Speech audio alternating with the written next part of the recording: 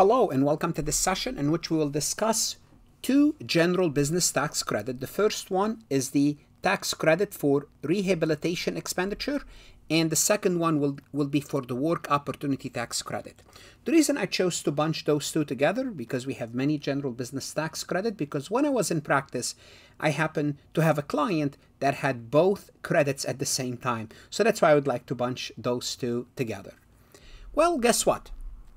Individuals or businesses for that matter can claim if you're, if you're self-employed can claim tax credit for costs associated with renovating what?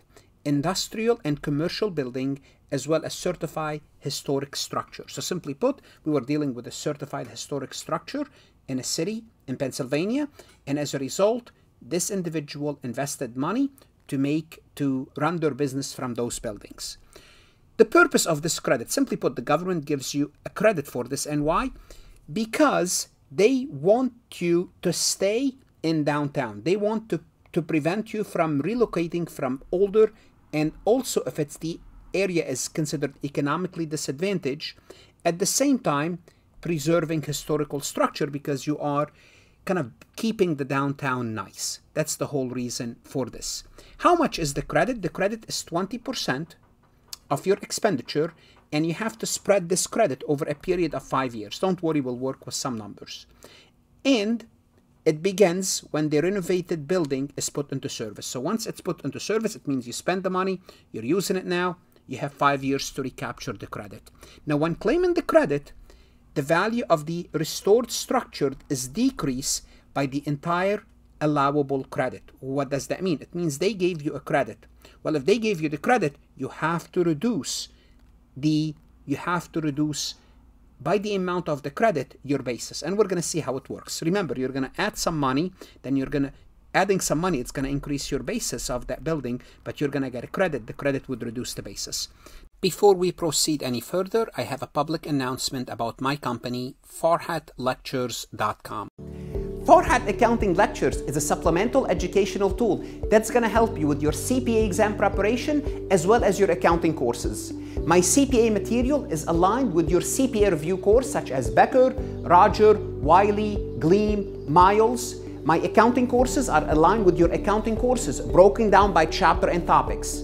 My resources consist of lectures, multiple choice questions, true false questions, as well as exercises. Go ahead, start your free trial today. The best way is to look actually at an example. Maria spent $150,000 to restore a certified historic structure. This structure had an adjusted basis of 60,000 and Maria spent 150. Now if this is a building, this is a regular building, what's going to happen? We would say the basis is 150 plus 60. We would say the basis of this building is 210. Maria is eligible for 20% of the 150,000. So she's eligible for $30,000 credit for this restoration cost. Well, the credit will be claimed again over a five-year period. So if we take 30,000 divided by 5, she's to get $6,000 annually. So after applying the credit, Maria's increases the basis of the building by the net amount of 120. So what happened is this. Remember, she spent 150 that's going to increase her basis by 150. Then she received the credit of 30,000 by the government from the government. Overall, the net increase, the net increase in the basis is 120,000. Now, so in other words, the restoration expense added to the basis, but the credit reduced the basis. This quick, quick, quick notes about additional requirements. For one thing, you have to finish the work within 24 months. So when you start the work, you, it can't go forever.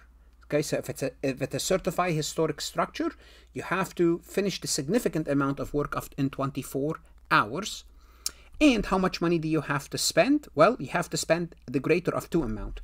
Either the adjusted basis of the property prior to the rehab expense, so whatever the adjusted basis, you have to spend more money than the adjusted basis, or simply put more than $5,000, which is that's easy to surpass, spending more than $5,000. Now bear in mind, the qualified expenditure does not include, exclude, expenses incur in the process of acquiring a building that does that doesn't count expenses for facilities connected to the building such as parking lot and expenses for expanding an existing structure those don't qualify let's take a look at the second tax credit business tax credit which is work opportunity credit well what is that for? The Employment Opportunity Tax Credit incentivize. The government want to incentivize companies, employer to do what?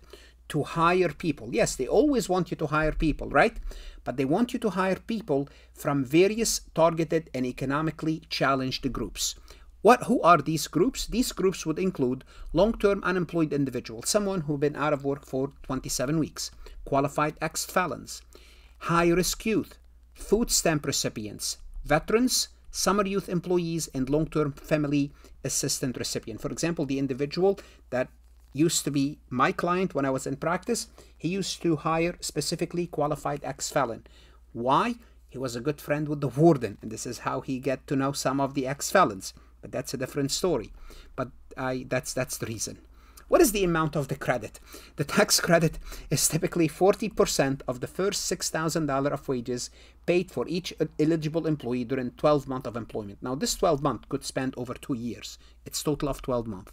If an employer claims a credit, it means if they give you a credit, it means well, you reduce your expenses, their deduction for the wages decrease by this amount. So let's assume you paid $100,000 in wages and you had $6,000 or $8,000 in credits well, guess what?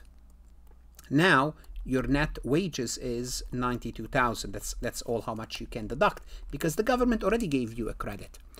To qualify for the 40%, the employee must receive certification from a designated local agency as a member of a targeted group and provide at least 400 hours of service. What happens if you don't meet the first condition but uh, if you happen to meet the first one but not the second one, means you did not put the hour, the credit is reduced to 25% as long as you complete at least 120 hours of service. Again, the best way to illustrate this is to take a look at an example. On April 15th, X3, John, a taxpayer for the for the fiscal year hires Samantha, a certified member of a targeted group. During the first five months, Samantha earns $4,000 for 400 hours, so she met the 400 hour week. Well, John is eligible 40%, 1,600 credit. Samantha continued to work for John in 20x4 and earned an additional $9,000 by March 31st, and here we assume she met the hours. Well, as the credit applies to the first $6,000, well, she already earned the four the, of the 6,000. John already used up four. What's left is two. So in year 20x4, we have 2,000, and that 2,000 will earn a 40% credit, $800. Now bear in mind, going forward, John will no longer be allowed, or the credit is no longer available, because that's it. For this employee, that's, that's all what you got. Now you want to get another employee, part of the targeted group, then you can claim this credit again, because it's per employee. What should you do now? Go to Farhat Lectures, whether you are a CPA candidate, enrolled agent, or an accounting student to look at additional MCQs, true false, additional resources that's going to help you understand the concept better so you are better prepared, whether it's in your classroom or professional certification. Good luck, study hard, and stay safe.